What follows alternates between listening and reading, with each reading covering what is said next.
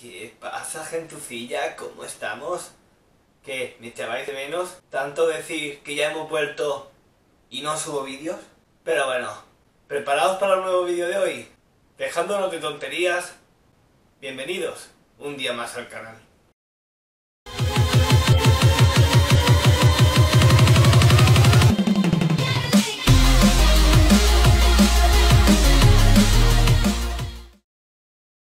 Y bien, como podéis ver, hoy os traigo el tema que muchos otros canales ya han subido, que son las profecías que hay para el año 2020. Pero ojo, no quiere decir que se cumplan.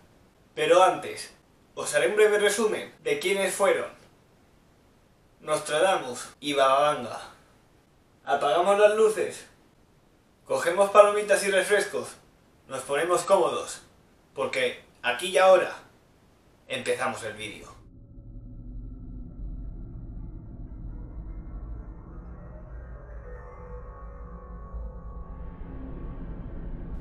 Michel de Notre Dame, también conocido como Michel Nostradam, usualmente latinizado como Nostradamus, fue un médico francés y adivino y mejor conocido por su libro de las profecías. En cuanto a la fecha de su nacimiento, no se sabe si fue el 14 o el 21 de diciembre de 1503, en Saint-Rémy de Provence. Perdonadme el acento, es que no, no sé francés, no sé pronunciarlo, no sé leerlo, en Provenza, Francia, en donde a día de hoy aún existe la casa donde nació, bautizado como Michel. Fue uno de los nueve hijos que tuvo el matrimonio de Jaume de Nostredame y Reinier, nieta de Pierre de Saint-Rémy, quien trabajó como médico en Saint-Rémy. La familia de Jaume originalmente había sido judía, pero su padre Crescas tomó la decisión de pasarse al catolicismo entre 1459 y 60. Los hermanos conocidos de Nostradamus son Delphine Jean, Pierre, Héctor, Luis, Bertrand, Jean II, nacido en 1522, y Antoine, nacido en 1523. Poco más se sabe de su infancia, excepto por una tradición que fue indulcada por su bisabuelo materno, pero que todos los documentos desaparecen cuando Nostradamus solo tenía un año de edad. A los 15 años, Michel Nostradamus ingresa en la universidad, en la Universidad de Aviñón, para estudiar el bachillerato. Tras un año, logró acreditar el trivium existente en tres materias diferentes, gramática, retórica y lógica, aunque poco tiempo después, por el cierre de la universidad, tuvo que buscar otro sitio donde estudiar. Años después ingresó en la Universidad de Montpellier para estudiar medicina, pero fue expulsado fue expulsado porque se le descubrió trabajando en cosas prohibidas para los alumnos de esa universidad. Y en 1525 logró terminar sus exámenes de bachillerato aprobándolos. Pero apareció la peste bubónica y él se vio obligado a viajar por toda Europa para curar a los enfermos de la peste. Con todos esos viajes fue conociendo gente nueva y entre esa gente fue conociendo a alquimistas, cabalistas, místicos, con todos ellos de manera clandestina se iba reuniendo y consiguiendo información. Consiguió tales conocimientos que creó la píldora rosa, la medicina con la cual empezaron a curar la peste. Todo por su concentración en vitamina C. En 1530 regresó a la Universidad de Montpellier para recibir un doctorado, pero la conservadora de la universidad lo expulsó y fue expulsado por el mismo motivo que lo expulsaron en la otra ocasión, por sus trabajos. Y Michel, de hecho, después de esa expulsión, regresó a esos trabajos.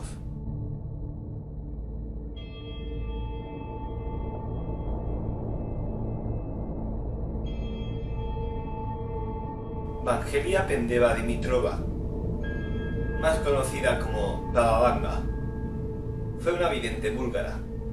Se la conoció más después de su matrimonio como Vangelia Gusterova.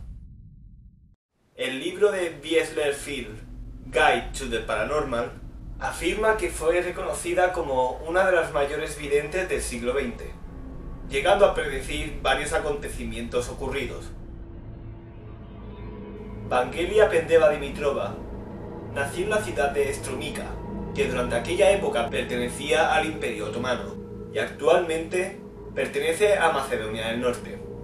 Siendo adolescente, teniendo 12 años, sufrió un tornado que la arrastró 2 kilómetros, provocándole serios problemas de salud, los cuales le provocó ceguera. Una ceguera permanente.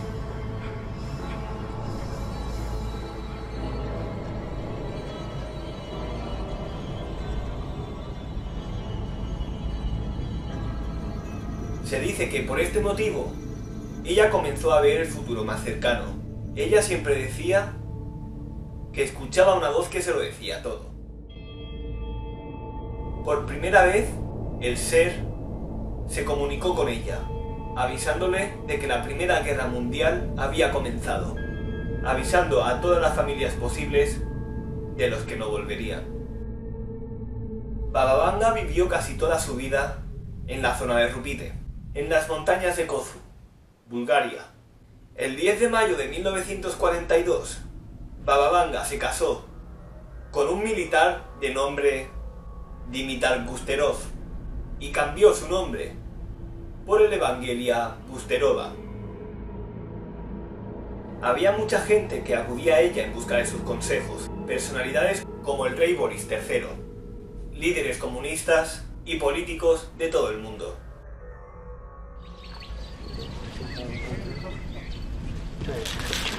Откъде си? От Пловдив Баба Ванда. Защо дойде? Дойде, че дъщеря ми а, е болна и нито, нито да се омъжва. Обягва от хората и магили прави Кой умре? Че? И още два глоби има? Има баба и дядо. Откъде си? Вали защо дойде? За мъжа ми за катастрофата да И видя. циганка. И шо на мъжа? Bababanga murió el 11 de agosto de 1996 en Sofía, capital de Bulgaria, por un cáncer de mama.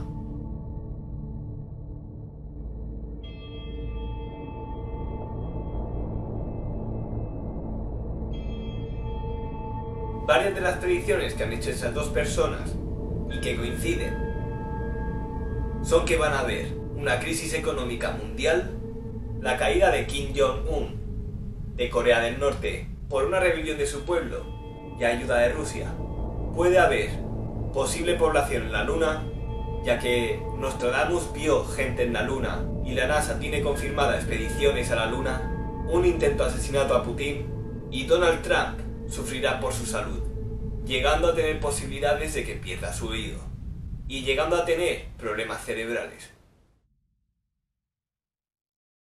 Bueno, y si has llegado hasta aquí, vamos a seguir con un juego que hace un tiempo empecé. Quiero que dejéis ahí abajo escrito un comentario con el hashtag predicciones. Ahí escribid lo que queráis y bueno, yo os leeré y os daré un corazón cuando pueda y un like. Y si queréis que haga un vídeo más a fondo sobre las predicciones que hicieron cada uno de estos dos profetas, u otros profetas más que hayan habido a lo largo de la historia, apoyad este vídeo con un fuerte like y compartidlo. Nos vemos en el siguiente vídeo.